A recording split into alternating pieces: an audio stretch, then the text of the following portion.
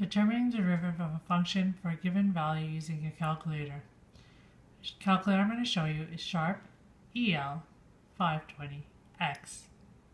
The example I'm going to show you is determining the value of dy over dx given the x equals 2 for the function y equals 7x cubed.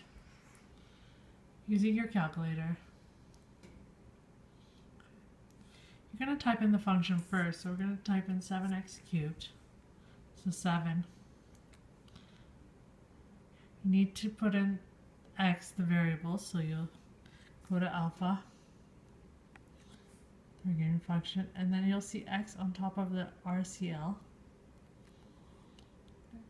And then you go on to put cube, so it's y equal to the x. Let you put any exponent, since y equals x.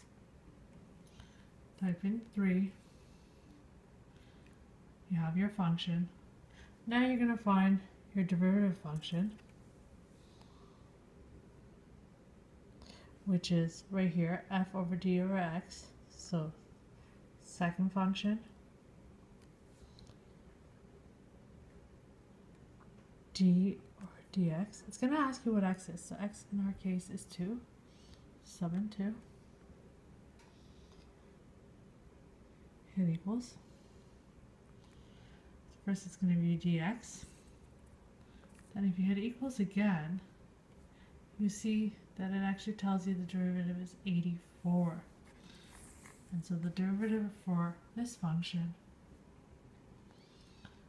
is 84. That's how you solve derivative for a function using the Sharp EL 520